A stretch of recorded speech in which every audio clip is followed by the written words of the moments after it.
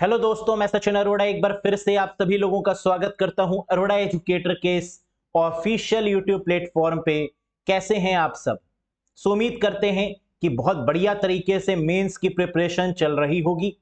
आप सभी ने प्री क्लियर किया है, उसके लिए कॉन्ग्रेचुलेशन गाइस अब बारी है मेन्स की, और हम उम्मीद करते हैं कि आप मेन्स में भी अपना 100% देंगे और फाइनल सिलेक्शन को लेंगे।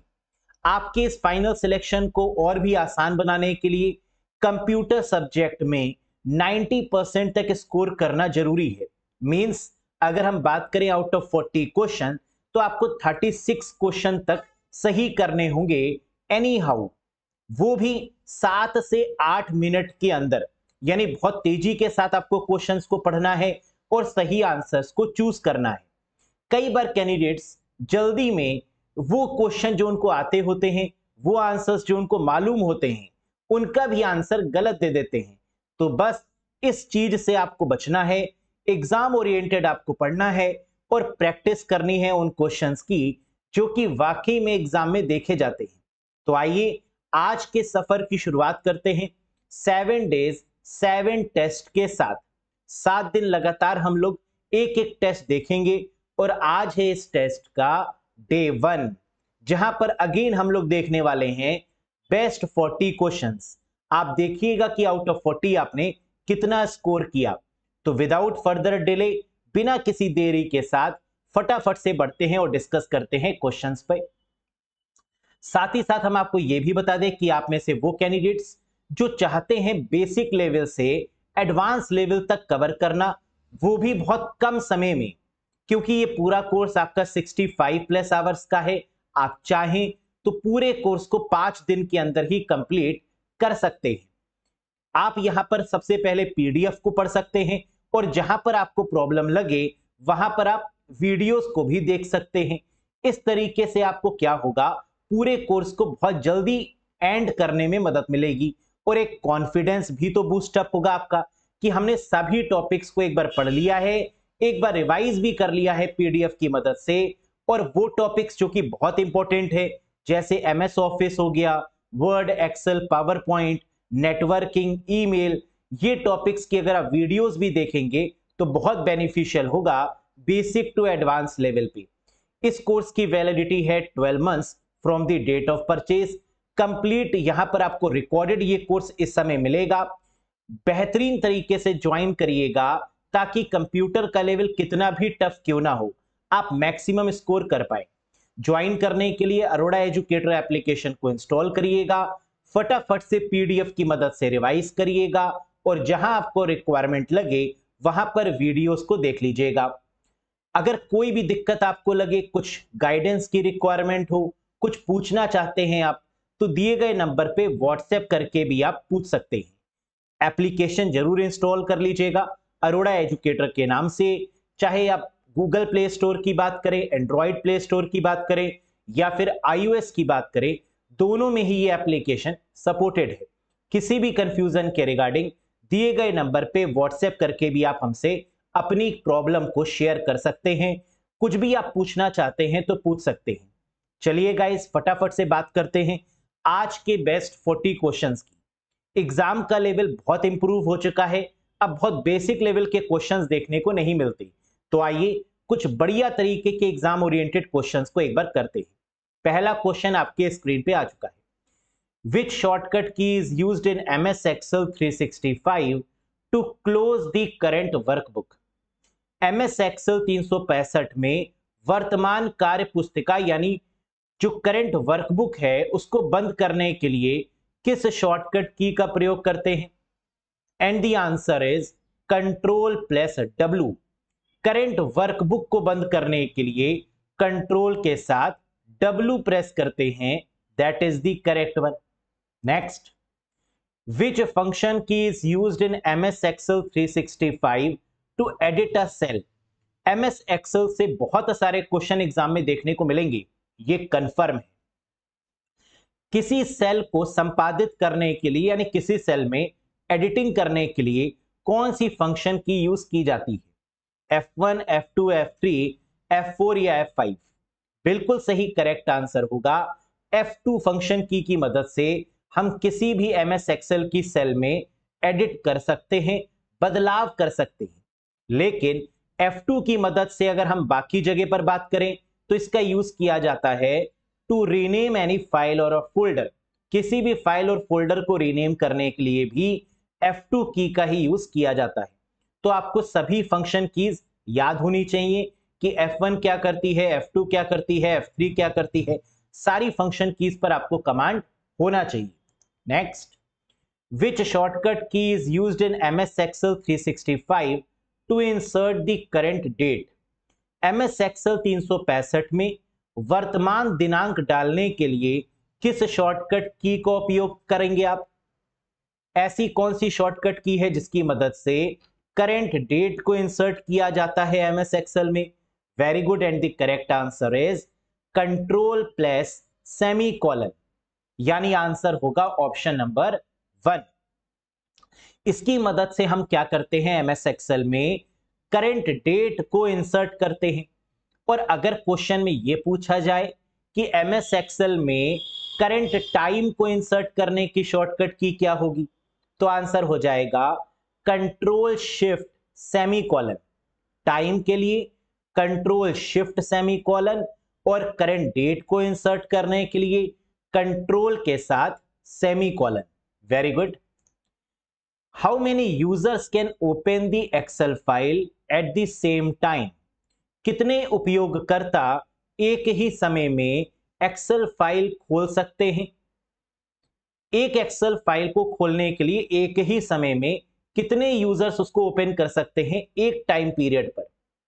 128 यूज़र्स 512 256 या 64 यूज़र्स या none of these correct answer है 256 यूज़र 256 यूज़र्स एक्सेल की फ़ाइल को एक ही समय में एक्सेस कर सकते हैं।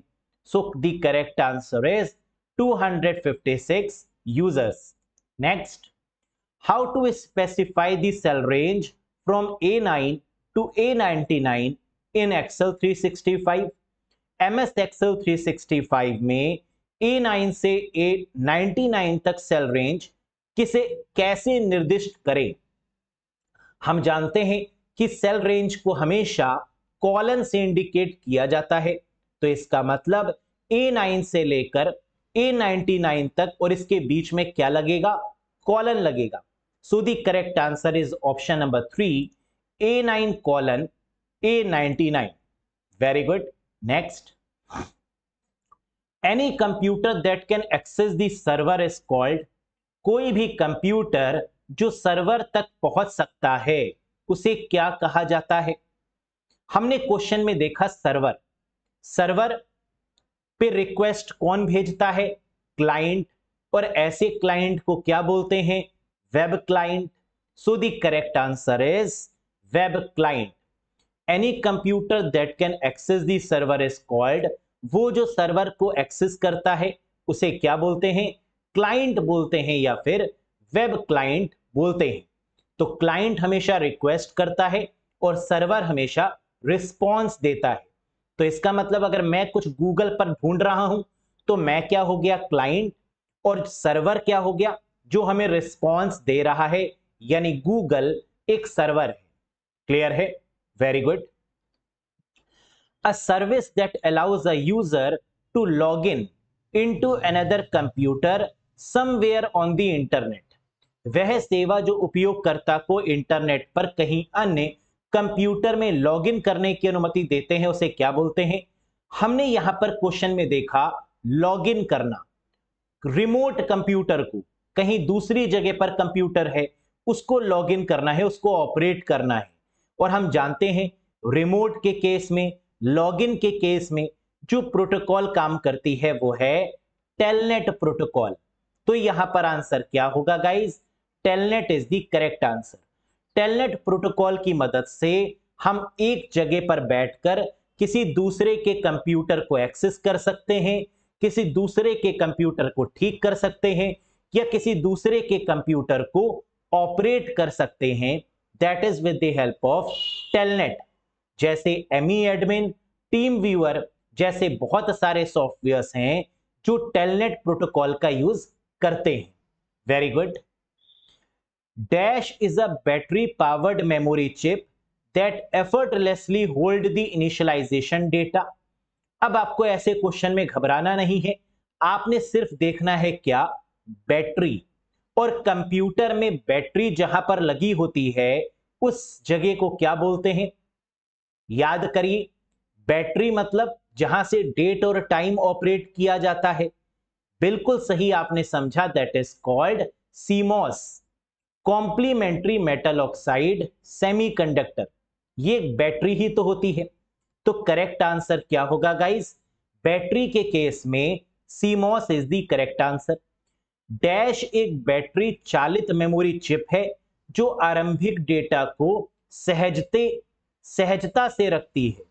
है ना? तो डेटा को संभाल कर रखने के लिए, सिंक्रोनाइज करने के लिए, डेट और टाइम को कंप्यूटर की मेमोरी पर दिखाने के लिए किसका यूज़ किया जाता है? सीमोस बैटरी का। और इसकी फुल फॉर्म भी कई बार एग्ज़ाम में पूछी जाती है तो ये भी याद रखने की रिक्वायरमेंट है। Complementary metal oxide semiconductor clear है?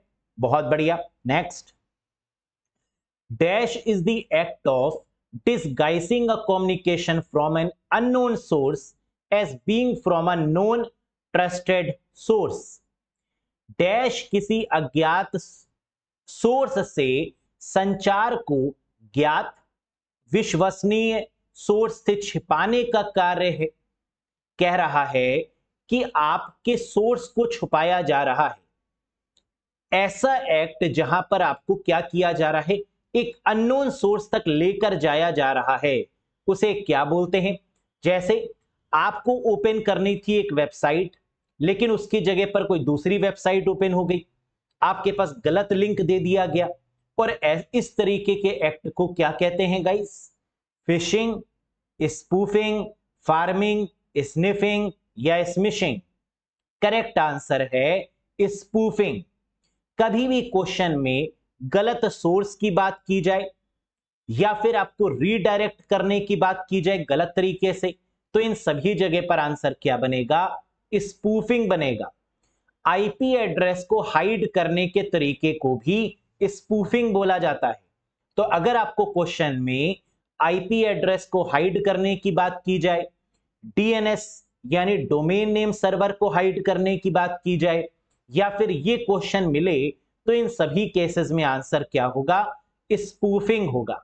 Very good pick the incorrect statement about the MAC address MAC address के बारे में इनमें से कौन सा स्टेटमेंट इनवैलिड है, यानी गलत है? बताइए, पढ़िए इसको। MAC address is a 12 digit number. क्या मैक एड्रेस एक 12 डिजिट का नंबर है? बिल्कुल सही। मैक एड्रेस हेक्साडेसिमल फॉर्मेट में होता है। आप जानते हैं कि मैक एड्रेस और आईपीवी सिक्स एड्रेस, ये हेक्साडेसिमल फॉर्मेट में होगा। ये भी करेक्ट है। MAC address belongs to physical layer? क्या मैक एड्रेस फ़िज़िकल लेयर पे काम करता है? बिल्कुल नहीं, क्योंकि मैक एड्रेस काम करता है डेटा लिंक लेयर पे, जो कि ओएसआई मॉडल की सेकेंड लेयर होती है। तो गलत स्टेटमेंट हमें मिल चुका है that is option number three option four देख लेते हैं। मैक एड्रेस 48 बिट का होता है, सही है। मैक एड्रेस एनआईसी कार्ड में एम्बेडेड होता है। एनआईसी कार्ड के ऊपर लिखा होता है, ये भी सही है MAC address network interface card के ऊपर ही तो लिखा होता है तो ये स्टेटमेंट भी करेक्ट है next Dash is the default command line interpreter for the Windows operating system. Windows operating system के लिए जो बाय डिफ़ॉल्ट कमांड लाइन दुभाषिया है या कमांड लाइन इंटरप्रेटर है या सीयूआई है। CUI platform for the Windows operating system is जहाँ पर ब्लैक स्क्रीन आ जाती है और उस पर हम कमांड लिखते हैं। उस स्क्रीन को क्या बोलते हैं? Very good that is called command prompt CMD से ओपन इसको किया जाता है और आंसर क्या है गाइस कमांड प्रॉम्प्ट यानी option number four is the right one next the PowerPoint view that displays only text title and bullet is called वह पावर पॉइंट व्यू जो केवल टेक्स्ट यानी शीर्षक और बुलेट प्रदर्शित करता है, वह है। वह क्या है? जल्दी से बताइए। हम लोग जानते हैं कि पावर पॉइंट में टोटल नंबर ऑफ़ व्यूज़ कितने हैं? एट फाइव और प्लस थ्री यानी प्रेजेंटेशन व्यूज़ कितने हैं? फाइव और मास्टर व्यू कितने हैं? Three five plus three, eight views are there.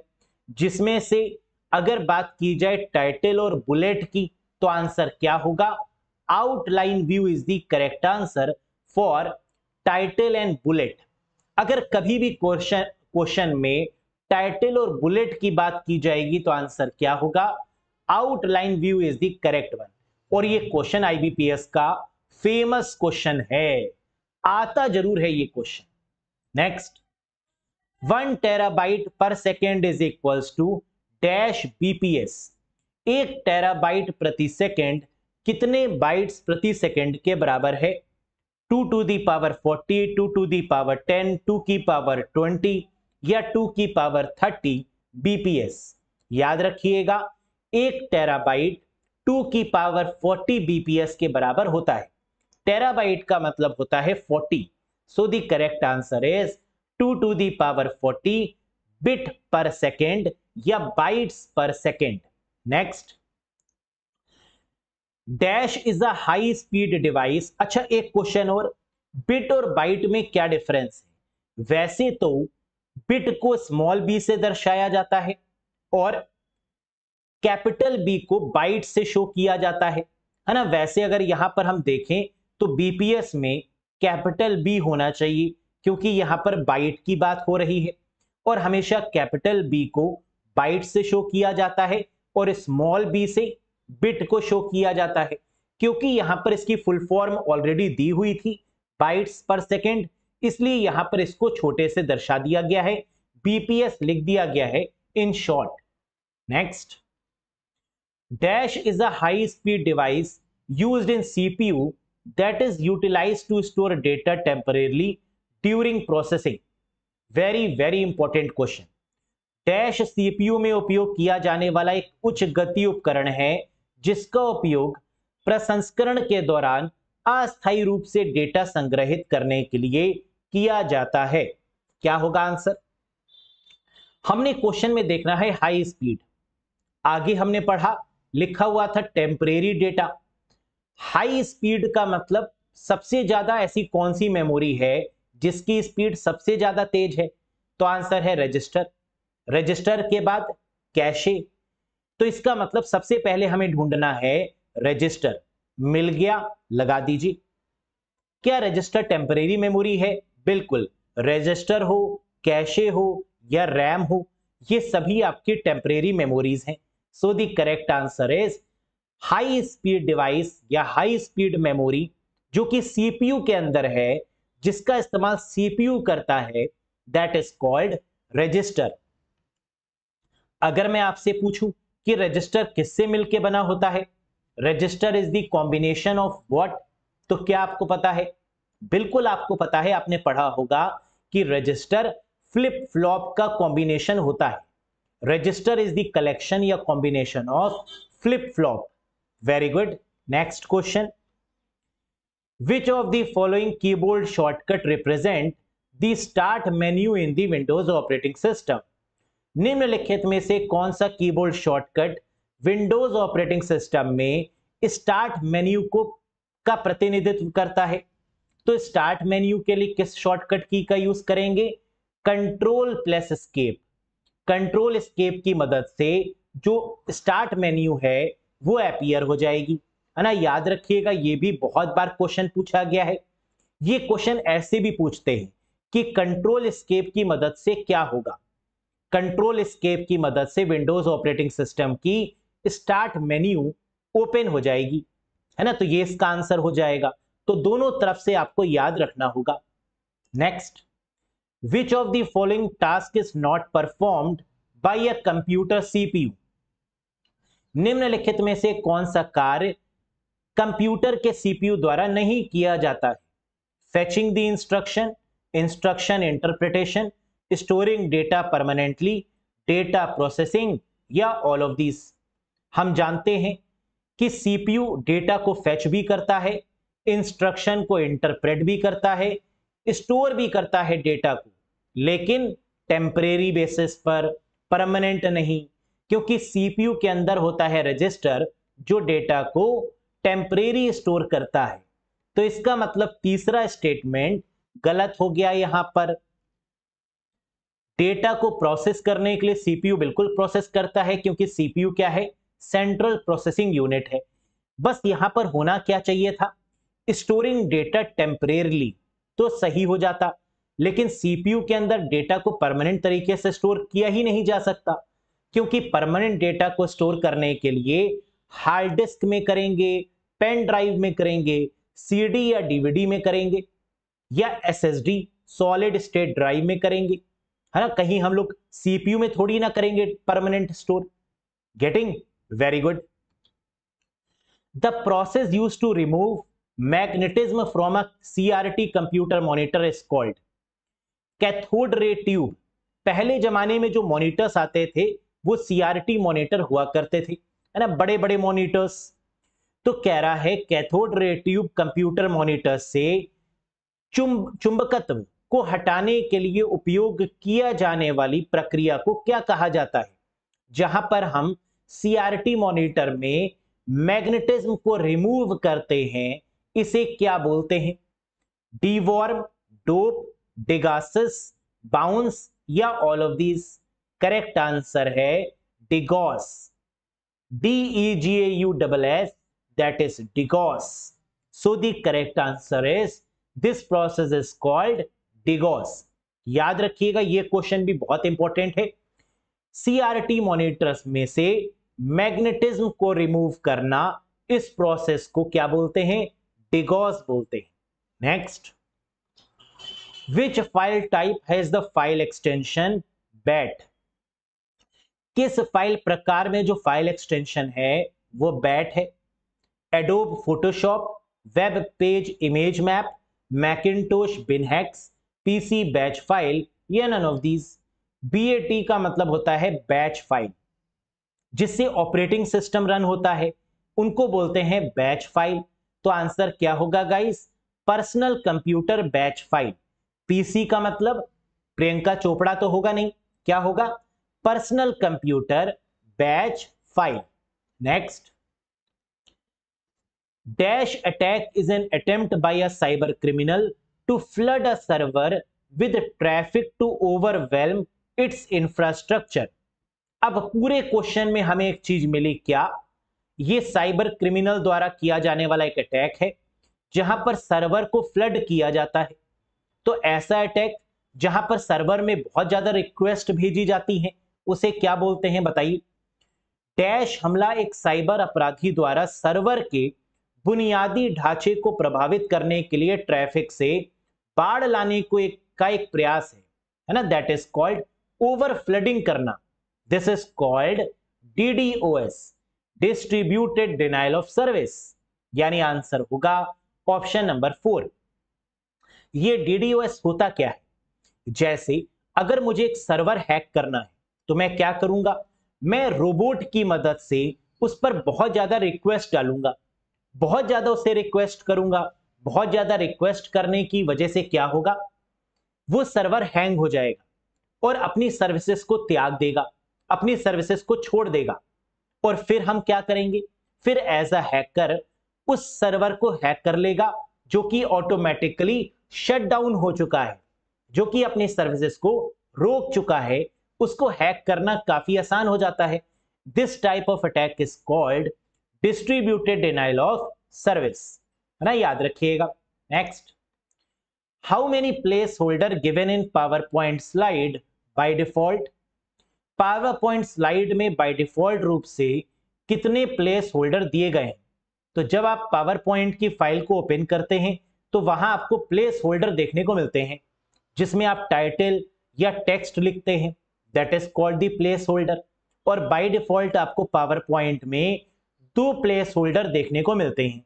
So the correct answer is two placeholder next bitcoin uses which technology bitcoin किस तरीके की टेक्निक का इस्तेमाल करता है? किस तरीके की टेक्नोलॉजी का यूज़ करता है? बिटकॉइन क्या है? एक क्रिप्टो करेंसी है। और क्रिप्टो करेंसी में जो टेक्नोलॉजी यूज़ हुई है दैट इज़ कॉल्ड ब्लॉकचेन। क्या होगा answer? That is called blockchain. ये ब्लॉकचेन क्या होता है?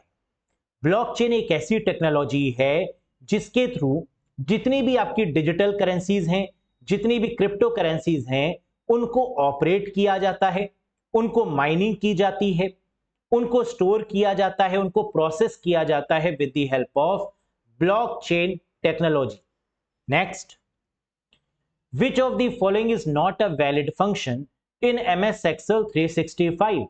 Very, very important question. निम्नलिखित में से कौन सा MS Excel 365 में मान्य फ़ंक्शन नहीं है? कौन सा इनवैलिड फ़ंक्शन है? Sum count subtract count A या नन ऑफ़ दीज हम जानते हैं सम फ़ंक्शन भी है। नंबर्स को काउंट करने के लिए काउंट फ़ंक्शन सब्ट्रैक्ट कोई फ़ंक्शन नहीं होता। जबकि काउंटे की मदद से हम कुछ भी काउंट कर सकते हैं सेल में। तो सब्ट्रैक्ट हो जाएगा इनवैलिड बाकी सब हैं वैलिड तो सब्ट्रैक्ट करने के लिए हम किसका यूज़ करते हैं? माइनस सिंबल का। तो जिस दो वैल्यू को हमें सब्ट्रैक्ट करना होता है, उन दोनों को हम सिलेक्ट करते हैं और बीच में माइनस का साइन लगाते हैं for the subtraction purpose next each table appears as a spreadsheet grid is called प्रत्येक तालिका एक स्प्रेडशीट ग्रिड के रूप में दिखाई देती है। उसे क्या कहा जाता है? कह रहा है, जो टेबल होती है, वो रोज एंड कॉलम्स के कॉम्बिनेशन में होती है। और उस पर्टिकुलर टेबल को क्या कहा जाता है? जो कि रोज एंड कॉलम यानी स्प्रेडशीट के फॉर्मेट में ग्रिड को रिप्रेजेंट करती है। Record data sheet queries table या ऑल ऑफ़ दीज क्वेश्चन में पूछ रहा है स्प्रेडशीट तो आंसर क्या होगा? Data sheet is the correct one ऐसी शीट को डेटा शीट के नाम से जानते हैं। Next what is the output of ms excel function ceiling 40 comma 3 ms excel function का आउटपुट क्या होगा? अगर दिया हुआ है equals to ceiling 40 comma three अपने आप करिए और मुझे बताइए किस क्वेश्चन का आंसर क्या होगा। हम जानते हैं कि इस केस में थ्री की टेबल पढ़नी है और ये टेबल तब तक पढ़ेंगे जब तक 40 से ग्रेटर वैल्यू ना आ जाए या 40 के बराबर क्यों ना आ जाए। तो सीलिंग का मतलब ग्रेटर देन और फ्लोर का मतलब लेस देन तो थ्री की टेबल आपने पढ़ना शुरू किया तो आपको मिला three multiply by thirteen that is thirty nine जो कि 40 से कम है, और 3 को 14 से मल्टीप्लाई किया तो मिला 42 जो कि 40 से ज़्यादा है, और सीलिंग में हमेशा ज़्यादा वाली वैल्यू ही आती है। तो इसका मतलब इसका आंसर क्या आएगा? 42 होगा करेक्ट आंसर लेकिन अगर यहीं पर फ्लोर दिया होता फ्लोर 40 कोमा थ्री तो आंसर क्या आता? 39 क्योंकि फ्लोर के केस में हमेशा कम वाली वैल्यू और सीलिंग के केस में हमेशा ज़्यादा वाली वैल्यू को लेते हैं। और टेबल किसका पढ़ते हैं? जो कॉमा के बाद में होता है। तो थ्री का टेबल पढ़ेंगे फोर्टी से ज़्यादा होना चाहिए that will be the answer और फुली डिविजिबल भी होना चाहिए। तो थ्री के टेबल में फुली डिविजिबल फोर्टी से ज़्यादा क्या होगा? Forty two that will be the right one very good the default alignment of data in M S Excel 365 is M S Excel तीन में डेटा का बाय डिफ़ॉल्ट संरेखण क्या है? अलाइनमेंट क्या है? तो एक्सेल में जो टेक्स्ट है, वो किस तरफ़ होता है? और जो नंबर्स हैं, वो किस तरफ़ होते हैं? Text left aligned numbers right aligned text right aligned numbers left aligned both text and numbers are left aligned या both text and numbers are right aligned या नन ऑफ़ दीज या आता है बताएँगे नहीं। क्या होगा करेक्ट आंसर बिल्कुल सही। एक्सेल में टेक्स्ट लेफ़्ट अलाइंड होता है और नंबर्स हमेशा राइट अलाइन होते हैं। तो करेक्ट आंसर होगा that is option number one text is always the left aligned and numbers are always the right aligned next how columns are named in M S Excel 365 M S Excel तीन में column का नाम कैसे रखा जाता है? Alphabetically, numerically alphanumerically special characters या all of these? बिल्कुल आपको यहाँ पर यह याद रखना है कि अगर हम बात करेंगे एम एस एक्सल की तो कॉलम्स को हमेशा अल्फाबेटिकल मैनर में ही रखा जाता है। ए, बी, सी, डी यानी अल्फाबेट्स में रखते हैं। तो एम एस एक्सल में कॉलम्स को अल्फाबेट्स और रोज की बात करें तो नंबर्स है ना? रोज में हमेशा क्या होते हैं? नंबर्स होते हैं। और कॉलम्स में हमेशा क्या होगा? अल्फ़ाबेट यानी ए बी सी डी से रिप्रेजेंट करते हैं। Very good next question which one of the following is a date and time function in Excel 365 Excel 365 में निम्नलिखित में से कौन सा दिनांक और समय फ़ंक्शन है? फाइंड मोड, नाउ, मिड, या नन ऑफ़ दीज क्या होगा? जरा सोच के मुझे बताइए कि अगर हम एक्सेल 365 की बात करें तो डेट और टाइम के लिए किसका यूज़ करते हैं? And the correct answer is now function for the date and time है ना? इस चीज़ को ज़रूर याद रखिएगा कि एक्सेल 365 की बात करें या एक्सेल के किसी भी वर्जन की बात करें। डेट और टाइम के लिए हमेशा जिस फ़ंक्शन का यूज़ करते हैं that is now function next which of the following protocol is use to download email from the email server email server से ईमेल डाउनलोड करने के लिए निम्नलिखित में से किस प्रोटोकॉल का उपयोग किया जाता है? हम लोग जानते हैं ईमेल के केस में मेल को सेंड करने के लिए एस का यूज़ करते हैं मेल को रिसीव करने के लिए पीओपी थ्री और किसका यूज़ करते हैं? आई मैप का इंटरनेट मैसेज एक्सेस प्रोटोकॉल। लेकिन जब भी बात सर्वर की होगी, इस केस में हमेशा आंसर पीओपी थ्री होगा। यानी post office protocol version three is the correct answer तो ईमेल सर्वर से ईमेल को डाउनलोड करने के लिए निम्नलिखित में से किस प्रोटोकॉल का यूज़ करते हैं? That is called POP three post office protocol version three MIME क्या है? मल्टीपर्पज इंटरनेट मेल एक्सटेंशन है, जिसकी मदद से कोई भी फ़ाइल को हम क्या करते हैं? सेंड कर सकते हैं। जैसे हमें कोई वीडियो फ़ाइल सेंड करनी है, कोई इमेज सेंड करनी है, कोई सॉन्ग सेंड करना है तो इसके लिए माइम प्रोटोकॉल का यूज़ किया जाता है। Next, in this type of topology, each node is simply connected to its right and left side nodes. इस प्रकार की टोपोलॉजी में प्रत्येक नोड बस अपने दाएँ और बाएँ तरफ़ के नोड से जुड़े होते हैं। Bus topology, star topology, ring, mesh या हाइब्रिड। बिल्कुल सही। अगर हम बात करें ऐसी कौन सी टोपोलॉजी है जिसमें हर एक कंप्यूटर, नोड का मतलब कंप्यूटर, कनेक्ट होता है राइट और लेफ़्ट साइड से।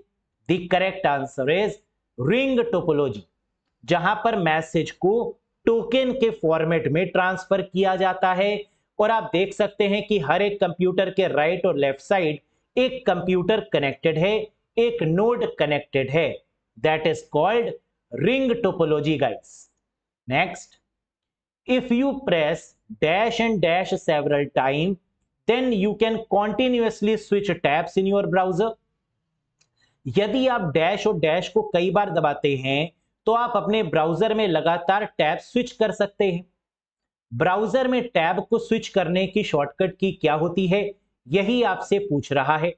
और आपको पता होना चाहिए कि सभी ब्राउजर्स में टैब में स्विच करने की जो शॉर्टकट की है, वो है कंट्रोल प्लस टैब। इसकी मदद से आप अलग अलग टैब्स में स्विच कर सकते हैं, जबकि खुली हुई एप्लीकेशंस में स्विच करने के लिए ऑल्ट प्लस टैब का यूज़ होता है।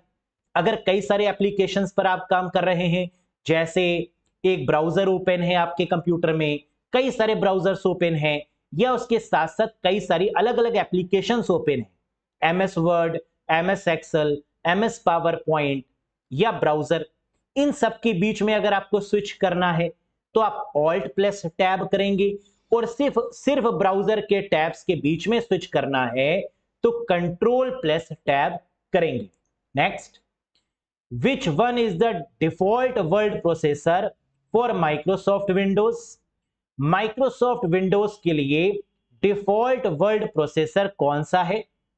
बहुत ही प्यारा क्वेश्चन और बहुत आसान question M S Word M S Paint WordPad Notepad या none of these very good guys अगर हम बात करें बाय डिफ़ॉल्ट वर्ल्ड प्रोसेसर की तो ये हमें मिलता है वर्ल्ड पैड ये बाय डिफ़ॉल्ट है। यानी अगर आप विंडोज़ ऑपरेटिंग सिस्टम इंस्टॉल करते हैं तो आपको वर्ल्ड पैड तो वहाँ पर फ्री ऑफ़ कॉस्ट मिलेगा, जबकि एम एस वर्ड अलग से इंस्टॉल करने की रिक्वायरमेंट होती है। समझ में आ गया? तो ये पेड है एम एस वर्ड जबकि वर्ड पैड पूरे तरीके से बाय डिफ़ॉल्ट भी है और फ्री भी है। Next an I P V four address consist of two part dash part and dash part I P V four पते में दो भाग होते हैं। पहला भाग और दूसरे भाग का नाम बताइए। कितना आसान क्वेश्चन है और कई बार पूछा गया है। हम जानते हैं IPv4 एड्रेस 32 बिट का होता है 32 बिट का होता है और IPv6 एड्रेस 128 बिट का होता है। IPv4 एड्रेस जिसमें टोटल नंबर ऑफ़ डॉट्स कितने होते हैं? तीन थ्री डॉट्स जैसे 192.168.224 है ना? इस तरीके से आपका कंप्लीट एड्रेस होता है। तीन डॉट होंगे चार ऑक्टेट होंगी आपकी। तो यहाँ पर आपको बताना है कि आईपीवी फोर एड्रेस में दो पार्ट कौन से होते हैं? नेटवर्क और होस्ट यानी पहले में होगा नेटवर्क और दूसरे में होगा host next which of these wave is most commonly use by wireless mouse to communicate इनमें से किस तरंग का उपयोग वायरलेस माउस द्वारा संचार करने के लिए सबसे अधिक किया जाता है? वायरलेस माउस की बात करें, वायरलेस कीबोर्ड की बात करें रिमोट की बात करें, इनसे निकलने वाली जो वेव्स होती हैं that is called infrared waves तो आंसर क्या होगा?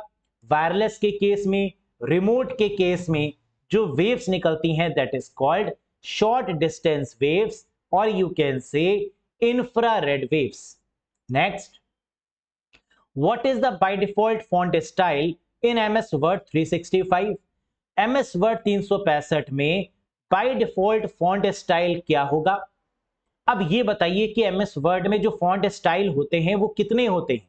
तो आंसर है रेगुलर इटैलिक बोल्ड और बोल्ड इटैलिक चार तरीके के फॉन्ट स्टाइल होते हैं एमएस वर्ड में, जिसमें बाय डिफ़ॉल्ट होता है रेगुलर तो करेक्ट आंसर होगा regular is the by default one लेकिन अगर आपसे ये पूछें कि रेगुलर इटैलिक बोल्ड या बोल्ड इटैलिक क्या है?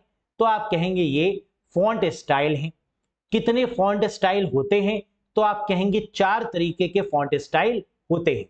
तो सब कुछ याद रखिएगा इसके लिए। Next in M S PowerPoint three sixty five which shortcut key is use to show hide the grid M S PowerPoint तीन सौ पैंसठ में ग्रिड लाइंस को दिखाने या छिपाने के लिए कौन सी शॉर्टकट की का यूज़ होता है? तो हम आपको कई बार बता चुके हैं कि पावर पॉइंट में ग्रिड लाइंस को शोर हाइड करने के लिए शिफ्ट प्लस F9 का यूज़ होता है। तो shift plus F9 shortcut key is use to show the grid lines and to hide the grid line next the open source software version of Netscape Netscape company का जो open source software संस्करण है, वो कौन सा है? या open source browser का नाम बताइए, जो नेटस्केप द्वारा डेवलप किया गया है। And the correct answer is Mozilla Firefox is the open source browser और द ओपन सोर्स सॉफ्टवेयर तो ये पहला ऐसा ब्राउज़र था जो फ्री ऑफ़ कॉस्ट था और जिसमें एडिटिंग भी पॉसिबल है। उसी को तो बोलते हैं ओपन सोर्स तो करेक्ट आंसर होगा Mozilla Firefox next is a small application design to run within another application dash एक छोटा एप्लीकेशन है, जिसे अन्य एप्लीकेशन के भीतर चलाने के लिए डिज़ाइन किया गया है। Script web page o applet या नन ऑफ़ दीज छोटे छोटे एप्लीकेशंस जिनको जावा प्रोग्रामिंग की मदद से डेवलप किया जाता है। स्मॉलेस्ट एप्लीकेशन होते हैं, बहुत छोटे एप्लीकेशन होते हैं। जिन्हें दूसरे एप्लीकेशन के अंदर रन किया जाता है, उन्हें एपलेट के नाम से जानते हैं। जैसे, हम जानते हैं कि इमोजीज को अक्सर हम लोग किसी दूसरी एप्लीकेशन में यूज़ करते हैं। जैसे व्हाट्सएप में हमने इमोजीज बना के भेजी फेसबुक पे चैटिंग के दौरान आपने इमोजीज का यूज़ किया, या फेसबुक में पोस्ट के दौरान आपने इमोजीज का यूज़ किया। तो फेसबुक और व्हाट्सएप क्या है? एक एप्लीकेशन और उसके अंदर आपने छोटी छोटी एप्लीकेशंस जिनको एपलेट बोलते हैं, जिन्हें जावा में से डेवलप किया जाता है, जिन्हें जावा प्रोग्रामिंग लैंग्वेज की मदद से डेवलप किया जाता है that is called applet next three bit binary number can be represented by तीन बिट बाइनरी संख्याओं को किसके द्वारा दर्शाया जा सकता है? Binary numbers decimal numbers hexadecimal number octal number या नन ऑफ़ दीज तीन बिट का मतलब क्या है? तीन बिट का मतलब वन का डबल टू टू का डबल फोर, यानी one plus two plus four कितना आएगा? सेवन। सेवन किसकी रेंज है? तो ज़ीरो से सेवन रेंज होती है ऑक्टल नंबर की। तो करेक्ट आंसर यहाँ पर क्या होगा guys that is octal number system या आप ये भी कह सकते हैं। तीन बिट का मतलब होता है टू की पावर ज़ीरो टू की पावर वन और टू की पावर टू तो टू की पावर ज़ीरो प्लस टू की पावर वन प्लस टू की पावर टू, इनको जोड़ने पर मिलता है क्या? सेवन। और सेवन किसकी रेंज में आता है? ऑक्टल नंबर जिसका बेस होता है एट और इसकी रेंज होती है ज़ीरो टू सेवन तो इसीलिए हम इसको क्या बोलेंगे guys three bit binary number can be represented by octal number very good which among the following keyboard shortcut is used to bookmark the current web page on the web browser.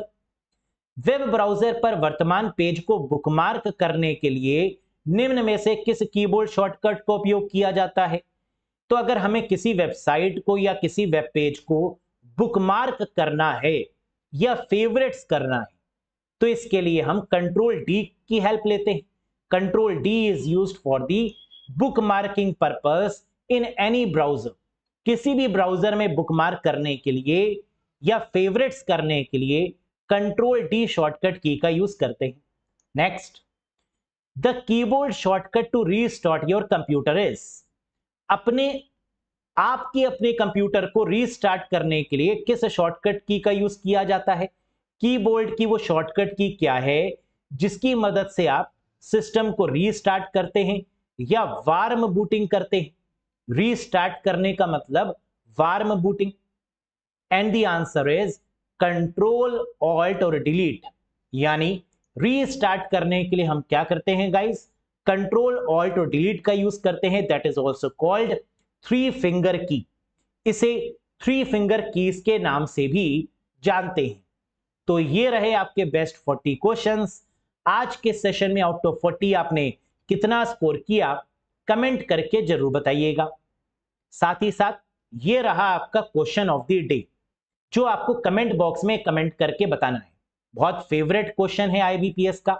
अक्सर पूछा जाता है exam में what is the size of sector on a hard disk hard disk पर sector का आकार क्या होता है?